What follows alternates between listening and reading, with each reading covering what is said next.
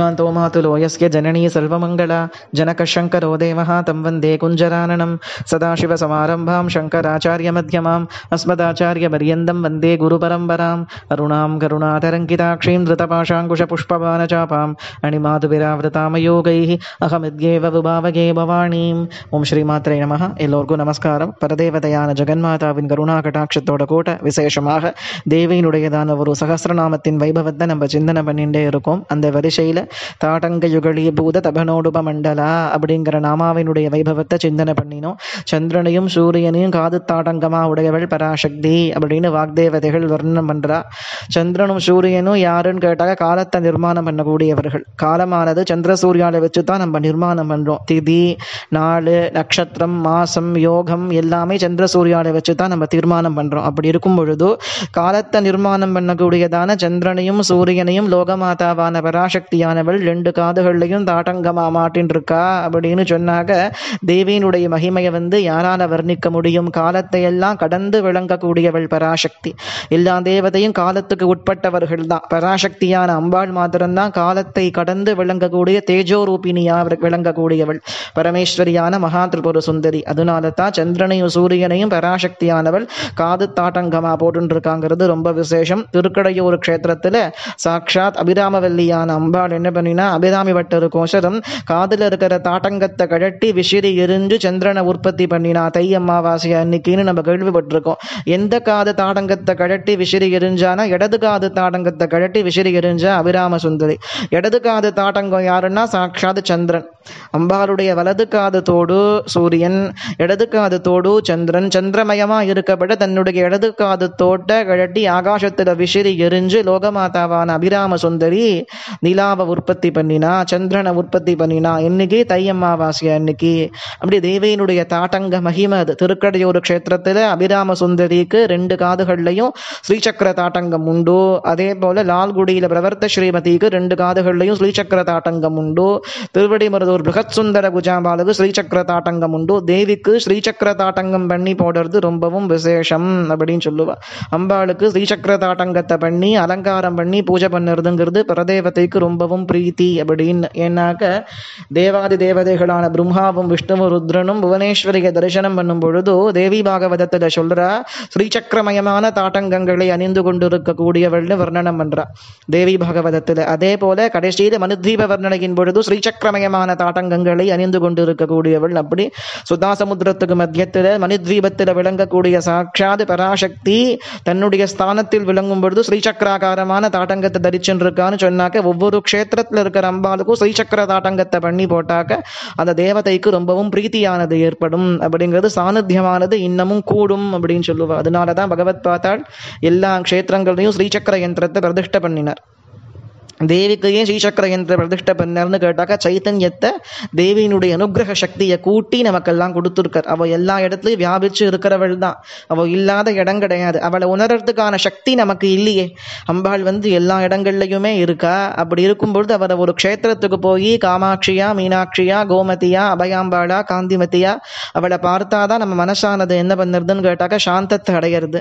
அவளை பார்த்தாதான் அங்க அங்கதான் அவளை நம்மளால உணர முடியறது. அவள் எல்லா இடங்கள்லையுமே இருக்கான்னு சொன்னால் கூட நம்மால் உணர முடியலை இல்லையா? அப்படி தேவியினுடைய சைத்தன்யத்தை கூட்டினா மாத்திரம்தான் அதை பெருக்கினா மாத்திரம்தான் உணர முடியுங்கிறதுக்காக தான் பகவத் பார்த்தால் ராமேஸ்வரத்திலிருந்து ஆரம்பித்து ஹிமாச்சல பரியந்தம் இருக்கிற நிறைய தேவி க்ஷேத்திரங்களில் ஸ்ரீசக்கர யந்திரத்தை ஸ்தாபனம் பண்ணி தேவியினுடைய அனுகிரக சக்தியை கூட்டியிருக்கார் அப்படின்னு சொல்லுவா. அந்த வரிசையில் தாட்டங்கம்னு சொன்னாக்க நமக்கு சட்டுன்னு ஞாபகத்துக்கு வர்றது யாருன்னா சாக்ஷா தகிலாண்டேஸ்வரி தான். அந்த மூலகர்ப்ப கிரகத்தில் ரெண்டு காதுகள்லையும் பெரிய பெரிய தாட்டங்கங்களை போட்டுண்டு அம்பாள் இருக்கிறத பார்த்தோன்னு சொன்னாக்க இன்னி முழுக்க அம்பாளை பார்த்துட்டே இருக்கலாம்.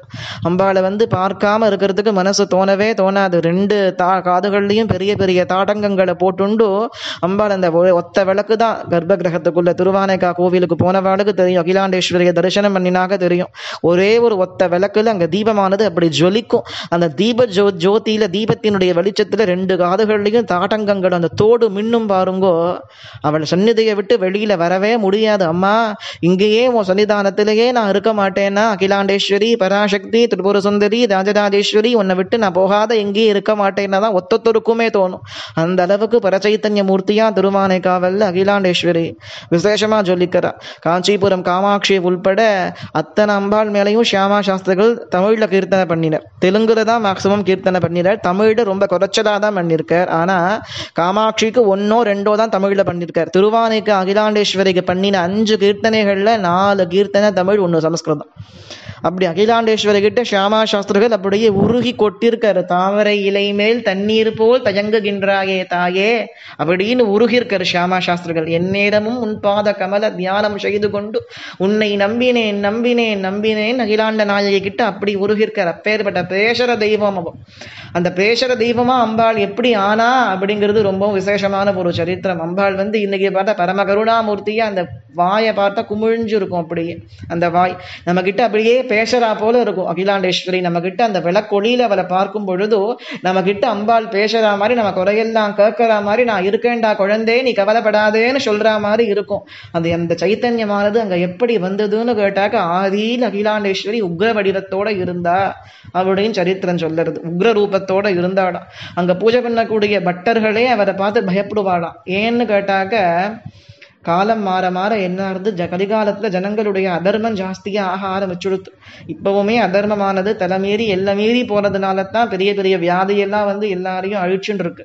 அப்படி இருக்கும் பொழுது அப்போ என்ன ஆச்சுன்னா அம்பாளுக்கு ரொம்ப துக்கம் தாங்காத ஜனங்கள் எல்லாம் தவறான பாதையில போறாளேன்னு சொல்லிட்டு அது கோபமா மாறி அந்த கோபமானது உக்ரமா வெளிப்பட ஆரம்பிச்சுடுத்து. தேவி கிட்ட இருந்து தேவியினுடைய சன்னிதானத்துக்குள்ள ஒருத்தரும் நுழையவே முடியல. அகிலாண்டேஸ்வரியோட சன்னிதானத்துக்குள்ள ஜனங்கள் எல்லாம் போகிறத விட்டுட்டு ஜம்புகேஸ்வரரை மாத்திரம் சேவிச்சுட்டு அப்படியே அகிலாண்டேஸ்வரி சன்னதிக்கே போகாத வந்துட்டாள்.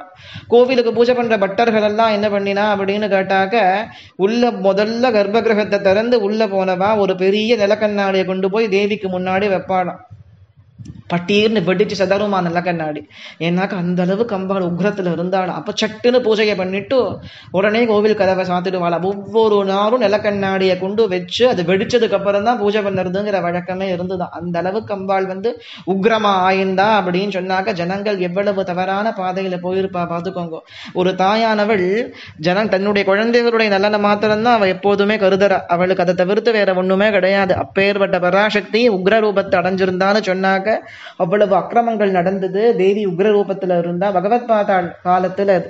பகவத் பாதாள் என்ன பண்ணினார் அப்படின்னு கேட்டாக்க எல்லா க்ஷேத்திரங்கள்லயும் போய் அந்தந்த க்ஷேத்திரங்கள்ல அத்வைத ஸ்தாபனத்தை பண்ணி சண்மதங்களை ஸ்தாபனம் பண்ணிட்டு துருமதங்களை எல்லாம் கண்டனம் பண்ணிட்டு அப்படியே திருச்சி பிரதேசத்துக்கு வரும்போது ஸ்ரீரங்கத்துக்கு போய் ரங்கநாதரையும் ரங்கநாச்சியாரையும் சேவிச்சுட்டு அங்கேருந்து திருவானைக்கா கஷேத்திரத்துக்கு வரார். ஜம்புகேஸ்வரரை தரிசனம் பண்றார்.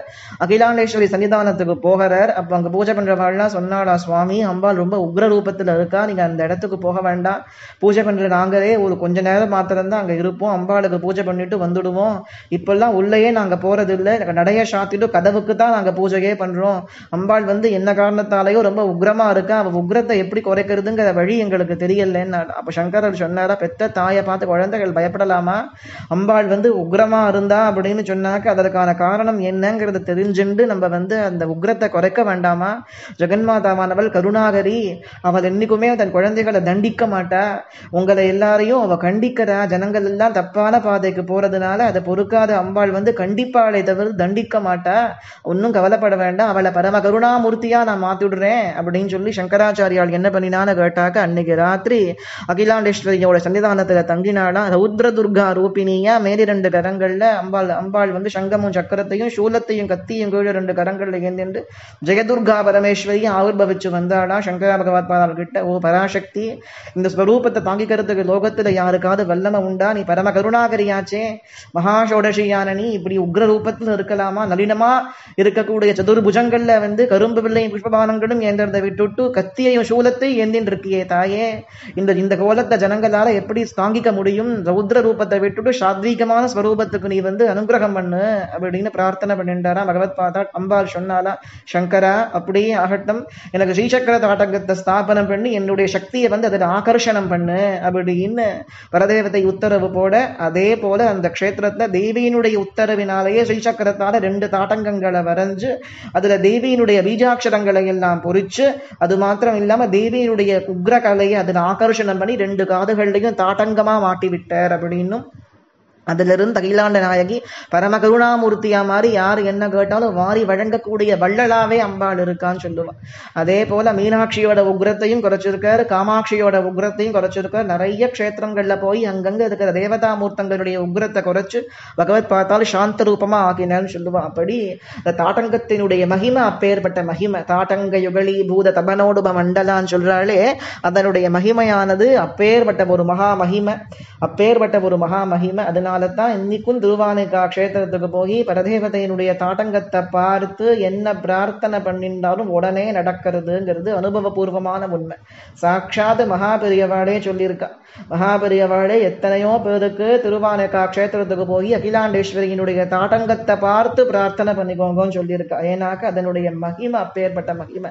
தாட்டங்கத்தினுடைய மகிமை அப்பேற்பட்ட மகிமை. தாட்டங்கத்தில் இருக்கும் பொழுது தாட்டங்கத்தோடு இருக்கும் பொழுது தேவி ஒரு மாதிரி இருப்போம். இந்த அர்த்தஜாம பூஜை நடக்கும் பொழுதோ கா- தாடங்கத்தை கடட்டி அதை பொட்டியில வச்சு உள்ள எடுத்துட்டு போயிடுவா. மறுநாளுக்கு தான் திரும்பி கொண்டு வந்து சார்த்துவா அந்த சமயத்துல தேவி ரௌத்ரமா இருக்கிறா போலயே தோணும் நமக்கு.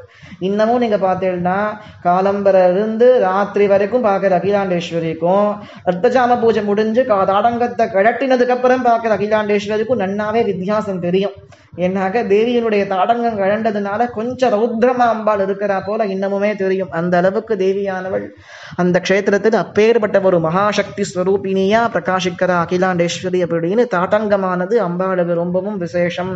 சுவாசினியானவள் தன்னுடைய காதல தோடு இல்லாத ஒரு க்ஷணம் கூட இருக்கவே கூடாது. சௌபாகியாவரணம்னு பேர் தாலிக்கு சௌமாங்கல்ய ஆபரணமான எதுன்னு கேட்டாக்க மாங்கல்ய சூத்திரம் தோடுகள் இது ரெண்டுத்துக்கும் சௌபாகியாபரணம்னு பேர். கையில வளையலும் சௌபாகியாபரணம்னு சொல்லுவா. இந்த மூணுமே இல்லாத ஒரு சுவாசனையானவள் என்னைக்கும் இருக்கவே கூடாது. காது தோடும் சரி கழுத்துல தாலியும் சரி கையில விளையலும் சரி இந்த மூணு ஆபரணங்களும் இல்லாத ஒரு சுவாசனையானவள் எப்பொழுதும் இருக்கவே கூடாது அப்படின்னு சொல்லுவா. அப்பேற்பட்ட ஒரு பரம சௌபாகியத்தோட சௌபாகியாபரணங்களோட தான் பராசக்தி பிரகாசிக்கிறா அப்படிங்கிறதுனாலையும் ஜெகன் மாதாவும் அப்படி பிரகாசிக்கிறதுனால சுவாசினிகள் அத்தனை பேருமே இந்த ஆபரணங்கள் இல்லாத இருக்கப்படாதுன்னு ஸ்ரீய சமஸ்தாக தவதேவி பேதாகான்னு விசேஷமா சொல்லுவா. அப்படி அத்தனை ஸ்திரீகளுமே சாட்சாத் பராசக்தியோட ஸ்வரூபமாவே இருக்கிறதுனால ஸ்திரீகளும் இந்த ஆபரணங்களை எல்லாம் கண்டிப்பா அணிஞ்சுக்கணும் அப்படின்னு சாஸ்திரமானது விசேஷமா சொல்லுறது. அது மாத்திரம் இல்லாம தன்னுடைய தாட்டங்க பலத்தால தான் சாட்சாத் பராசக்தியானவள் பரமேஸ்வரனுடைய பிராணனுக்கு எந்த விதமான ஹானியும் வராத பண்ணினாங்கிறதும் சௌந்தரிய லகரியாதி கிரந்தங்கள் எல்லாம் சொல்லுறது. அந்த சரித்திரத்தை தான் நம்ம அடுத்தது விசேஷமா நம்ம சிந்தனை பண்ண போறோம். அம்பாள அம்பாளுடைய வைபவத்தை. அப்படி அருந்திய நஞ்சு அமுதாக்கி அம்பிகை அப்படின்னு பட்டரும் சௌமாங்கல்ய மகாசூத்ர மகாத்யஸ்திர சங்கராம்னு தந்திரங்களும் எப்படி விசேஷமா சொல்லுறதுங்கிறதையும் தன் தாட்டங்க பலத்தினால சாட்சாத் பரமேஸ்வரனையும் விஷத்தை அருந்தின பரமேஸ்வரனையும் அம்பாள் ரட்சிச்சாங்கிற வைபவத்தையும் தொடர்ந்து நம்ம இந்த நாமாவினுடைய அர்த்தங்கள்லயே சிந்தனை பண்ணலாம். சர்வமங்கள ಮಂಗಲ್ಗೆ ಶಿವೇ ಸರ್ವಾರ್ಧಶಾದಿಗೆ ಶರಣ್ಯೇ ತ್ರಂಬಕೆ ಗೌರಿ ನಾರಾಯಣಿ ನಮೋಸ್ತುತೇ.